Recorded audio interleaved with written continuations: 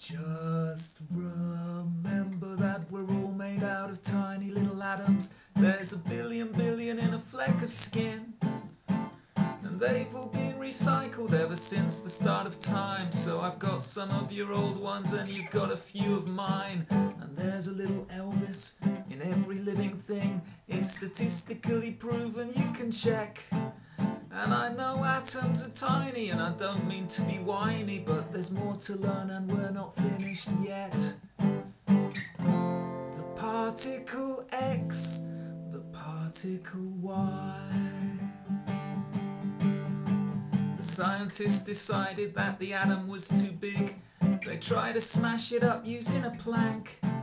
And some science fiction lasers, particle accelerators. They were shooting in the dark, but they still found a lot of quarks that seem to move like waves, but at other times behave like particles if you know where they are.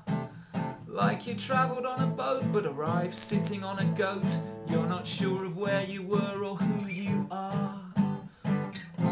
The particle X, the particle Y. Both say hi.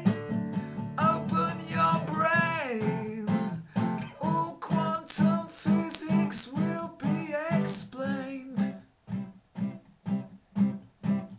Guy called Peter Higgs, the king of quantum physics, was looking for a particle called God. Well, he had a peek at God, but he must have had his clothes on because he couldn't see his bottom or his bosom, just his boson. And apparently it's big. And according to Higgs, it proves the universe is made of fields. Well, that really is amazing. And the quantum cows are grazing on the quantum grass, but are they really real?